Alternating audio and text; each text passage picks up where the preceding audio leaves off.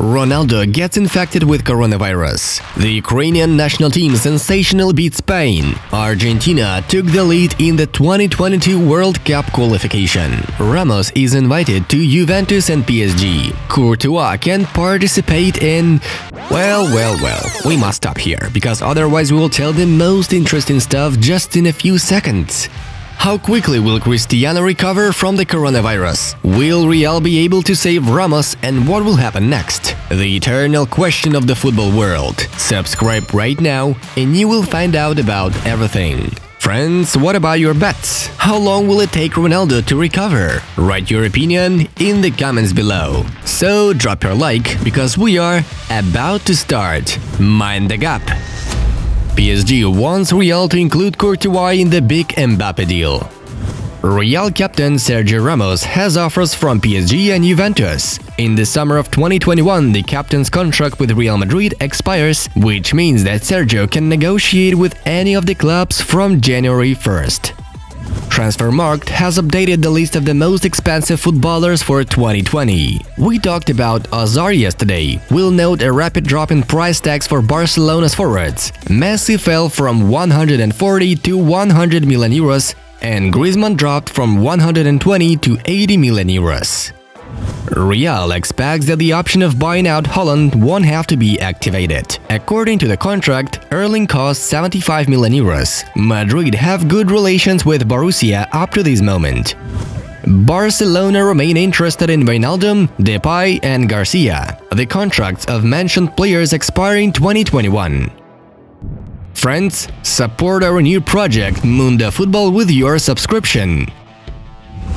We have created this channel for all Spanish-speaking subscribers of our channel. Recommend Mundo Football to your amigos and support us by watching them. We are at the very start of the project, so this is quite important. We'll leave the links in the description, pinned comments and the final screen.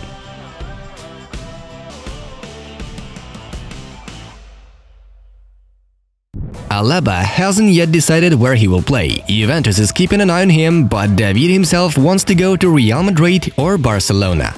Manchester United are interested in Kunde. Sevilla estimates the defender at 65-70 million euros.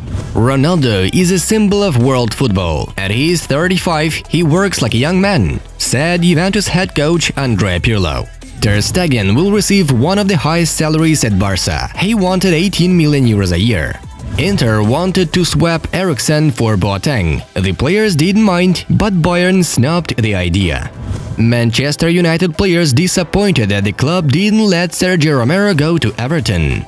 My failures in the match with Real Madrid, it was two years ago. I'm already bored, only journalists are interested in this, said Loris Karius. Liverpool's owner, Fenway Sports Group, is planning a merger with Billy Beane's Red Bull Acquisition Corporation in order to buy another club in Europe. Messi is a terrible whiner. Sometimes we're like an old married couple, Sport as quoted Aguero. AC Milan coach Daniele Bonera is infected with coronavirus. Real Madrid is currently following 17 years old Giovanni Reyna from Borussia Dortmund. Very few people know, but my name is actually Casemiro, said Real Madrid and Brazilian midfielder Casemiro. Thiago, Mane and Henderson will return to Liverpool for the match against Everton. De Bruyne left the Belgian national team due to the injury. Participation in the match with Arsenal is in jeopardy. Zidane still wants to sign Pogba for Real Madrid, according to Marca. Man City loaned Patrick Roberts back to Middlesbrough signing of 33-year-old Cavani with a salary of more than £200,000 on the last day of the window is desperate. The Sun quotes Harry Redknapp. Manchester United are looking for Villarreal defender Pau Torres. Manchester City and Barcelona have also shown interest in the 23-year-old Spanish national team player. Roy Keane is the most iconic captain in the Premier League history. Terry, Adams and Gerrard are in the top four. Ramsey got injured for Wales and will immediately return to Juventus. Thomas Partey wants to win the Premier League with Arsenal. We need to get back to the real place where we belong, the Gunners rookie set. The national team of Italy has a case of coronavirus. El Shaarawy tested positive. Yesterday, a number of interesting matches took place in the Nations League and in the 2022 World Cup qualification. All the results are in front of you. And we are moving on to the main news of the day. Let's start with the biggest one. Cristiano Ronaldo contracted COVID-19. According to the press service of the Portuguese national team, the 35-year-old striker has passed a positive test for coronavirus and won't be able to play with the Swedish national team in the Nations League. It is noted that the footballer's illness is asymptomatic. He is already isolated from the team. After a case of infection was detected in the Portuguese national team, the team's players passed repeated tests for the disease. No other footballer was diagnosed then. We'll recap that earlier Ronaldo refused to observe isolation in the Juventus hotel for the sake of playing for the national team. At that time, two employees of the Italian club had contracted COVID-19, and the players had to go through a two-week quarantine. The footballer will definitely miss three matches of the Italian club.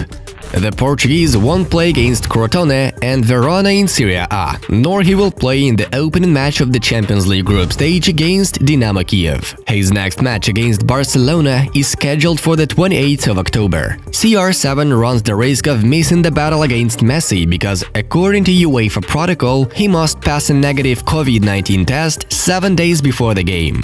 Interestingly enough, Cristiano is feeling well. A photo from the training camp of the Portuguese national team was leaked to the network, where Ronaldo is watching the training of his teammates from the balcony. The girlfriend and the future wife of the footballer, Georgina Rodriguez, supported Cristiano. Rodriguez posted on her Instagram a screenshot of the video she took during a conversation with Ronaldo, who currently remains in self-isolation. You are my inspiration, writes Georgina. The main sensational result of the first game day of the fourth round of the League of Nations was made by the Ukrainian team. Andriy Shevchenko's squad beat Spain at home 1-0. Viktor Tsygankov scored the winning goal. Let us recall that in the first match, the Spanish destroyed the Ukrainians 4-0. And now we have that. Bravo Andriy Shevchenko and his team. In another match of Group A, the teams of Germany and Switzerland staged a real shootout. 3-3. After the first half, the Bundes team were losing 1-2. Gavranovic and Freuler took the guests ahead. But Werner closed the gap. After the break, Joachim Löw's team won with a mirror score of 2-1. Havertz and Gnabry scored for the German machine. Gavranovic netted his second goal of the match for the side of Swiss. Another significant event of the day was the victory of the Argentinian national team over Bolivia as part of the second round of the 2022 World Cup qualification stage in the South American section. The match turned out to be extremely difficult for Lionel Scaloni's team. The Hernando Siles Stadium is located at an altitude of 3,601 meters above sea level. The hosts are more accustomed to such highlands and consequently they score the opener in 24th minute. Moreno netted a beautiful header from the cross pass. Argentina equalized with an outstanding goal from Lautaro Martinez. The pressure of the Argentine forward was too hot to perceive. The victory was brought by Joaquin Correa. Messi passed to Lautaro and he assisted to Correa. Just a shot of hope and a rewarding 1-2 victory. The Argentina national team leads the qualifying group. After the match, there was a massive brawl with the participation of Messi. The Bolivians tried to provoke Lionel. Marcelo Moreno was the one to be especially active in that. Presumably, Messi said to Moreno the following, What is your problem, bastard? Leo also said, You are to play in Serie C, asshole. Hmm, Latin American vibes at their best. Thank God that there were no further skirmishes. Friends, we remind you, support our new project Mundo Football with your subscription and watching. Do a good deed if you love our channel, subscribe to Mundo Football and watch the video in front of you. Well, we will say goodbye for now. Have a nice one, see you in a bit.